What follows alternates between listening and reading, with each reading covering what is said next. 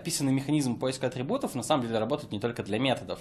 Если атрибут, который мы не нашли в экземпляре, но нашли в классе и не является функцией, то мы просто можем его использовать. Давайте посмотрим следующий пример. Если бы мы хотели написать какой-нибудь класс, который бы в нашем представлении хранил песни для нашего, ну, не знаю, какого-нибудь MP3-плеера, что бы мы от него хотели? Прежде всего, мы бы от него хотели, чтобы он хранил э, название исполнителей, название песен и, допустим, какие-нибудь теги, чтобы мы потом могли сортировать наши, весь наши там, плейлисты по каким-нибудь тегам. Так, что же у нас есть на примере? У нас есть класс song, у него есть атрибут text, у него есть атрибут, собственно, который является конструктором класса, который примечателен тем, что мы пишем конструктор, который теперь принимает не только self, но еще два аргумента artist и song. А, и у нас есть метод addText, который добавляет теги в атрибут text. Этот пример примечателен парой вещей. Во-первых, мы определяем функции конструктор, которые принимают не только self, но и другие аргументы. А во-вторых, мы сейчас рассмотрим механизм того, как же происходит действительно поиск атрибутов.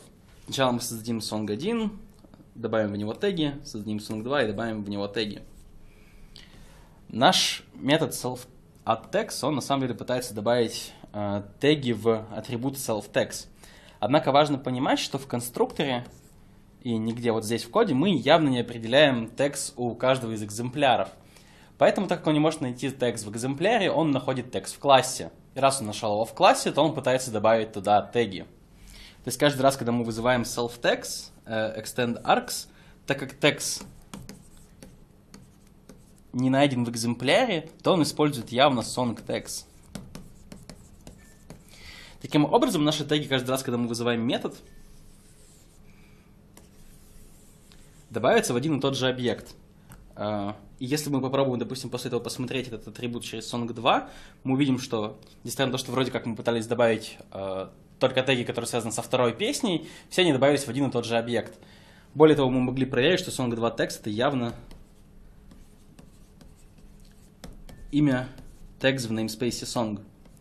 Этот пример является плохим по двум причинам. Прежде всего, мы, конечно же, имели в виду, что текст должен быть атрибутом именно конкретного экземпляра, потому что теги мы ассоциируем все-таки с песней, а не с классом. Во-вторых, э, метод addText тогда на самом деле не менял никакого объекта, идеологически неправильно вообще использовать метод, потому что он на самом деле менял класс, а не объект. Этого всего бы можно было бы легко избежать, если бы мы явно определяли атрибут text внутри конструктора. То есть если бы вот здесь мы явно определяли self-text равным пустым листу, то тогда каждый раз, когда мы вызывали метод, этот атрибут text был бы ассоциирован именно с экземпляром.